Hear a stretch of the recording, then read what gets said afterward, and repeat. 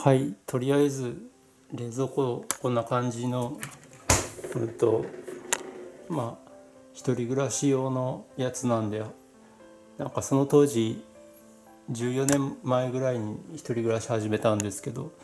それで一番安かったあの冷蔵庫ハイヤールのやつ買いました。でとりあえずこんな感じで上冷凍庫の下冷蔵庫っていう本当にシンプルな冷蔵庫で。ちょっと最後の方一人暮らししてた最後の方はちょっとあの収納少ないなって感じてたんですけどまあそこは別に大した問題じゃないです。でパッキンこんな感じでちょっとある程度これでも拭いたんですけどやっぱ全然汚れが見えるなって感じで。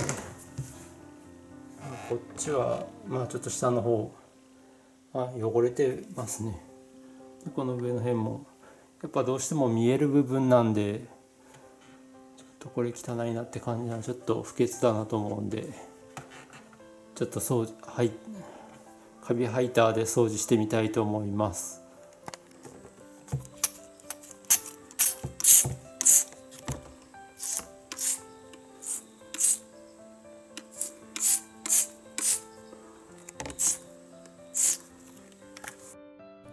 はいこの冷蔵庫は6年間放置してたのでその間に冷凍庫の氷が溶けてで下のパッキンに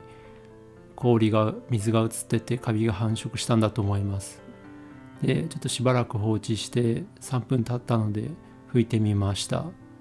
が汚れは完全にやっぱり取れませんでした。はいカビハイタをやる前消毒用エタノールとかも試してみたんですけどちょっと全く歯が立ちませんでしたね。それで今回もう一回それでもう一回今度は多めにかけてやってみるようにします。ハイターが流れないように、えっと、手前はティッシュでせき止めました。で縦の部分はかけても流れ落ちてしまってできませんでした。うまいやり方あればぜひ教えてください。はい10分経ちました。結果は前のやつでちょっとなんとなく分かってたんですけどやっぱりこれでも落ちなかったです。カビハイター思いっきりやっても落ちないっていうことはなんかちょっと何やっても無理そうな気はしました。ちょっと途方に暮れました。でその後もいろいろブラシでこすったりとかいろいろ試してみたんですけど結局汚れは落ちませんでしたね。なので諦めてこのまま冷蔵庫を使うことにしました。まあ汚いんですが使えることは問題ないんでそのまま使っていくことにします。であと、えっと、引っ越しの時にガムテープ貼ったんですけどもそのガムテープの後も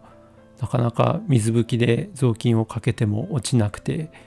えっと、結局めんどくさくなってそのまま使ってます。そのガムテープの後もきれいに落とせる方法あれば是非教えてください。